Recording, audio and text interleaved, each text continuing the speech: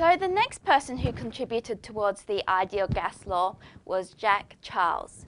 He found out the relationship between volume and temperature. Jacques Charles was actually interested in hydrogen balloons. He developed the first hydrogen balloon, and one of the first flights they did, they launched a big hydrogen balloon from the site where the Eiffel Tower now stands. The hydrogen balloon fell, flew about 21 kilometres over fields and things, and then it came to rest. When it came to rest in the field, all the peasants were terrified about what it was, and they so they tore it to shreds using pitchforks, which was a bit sad for Charles. But to get the hydrogen into the balloon, Charles discovered that if he cooled it down a lot with water, he could actually get a lot more hydrogen into that balloon. So this led to what's now known as Charles's law.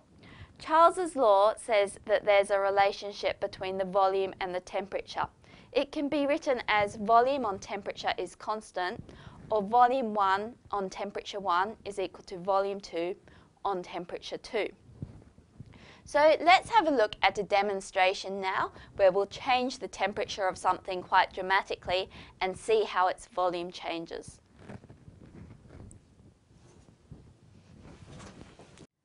What we have here is some liquid nitrogen, which is at 77 kelvins, which is minus 196 degrees Celsius.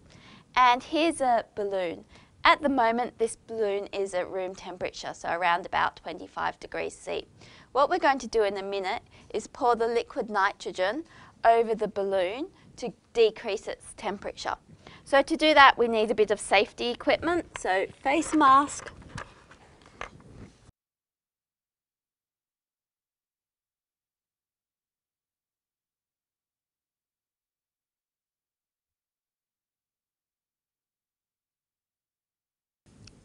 lab coat and gloves.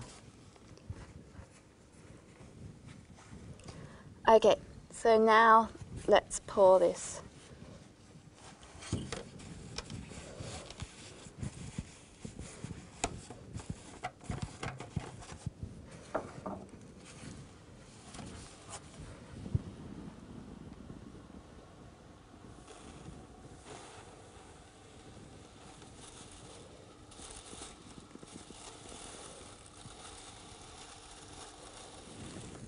You can see that as the balloon gets cold, its volume decreases. Now, if we leave it here for a minute to warm back up again, it should go back to its original volume.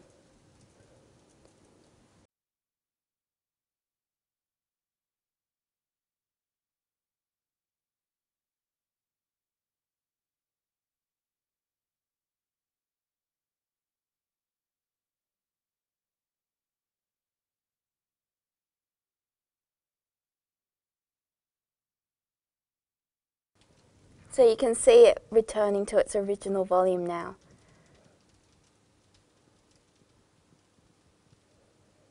Let's try a problem on that now.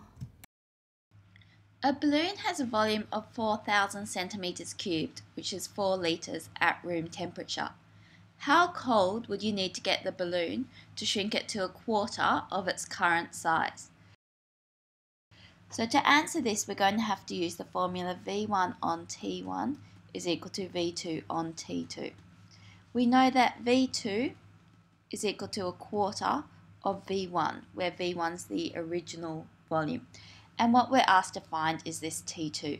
So let's rearrange this. T2 is equal to V2 on V1 times T1.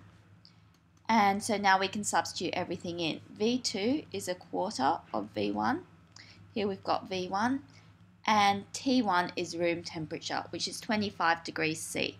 But this temperature needs to be in kelvins. So that's 25 plus 273. So this V1 and that V1 will cancel each other out and we'll end up with a quarter of 25 plus 273, which is equal to 298. So quarter of 298, so that is equal to 75 kelvins. or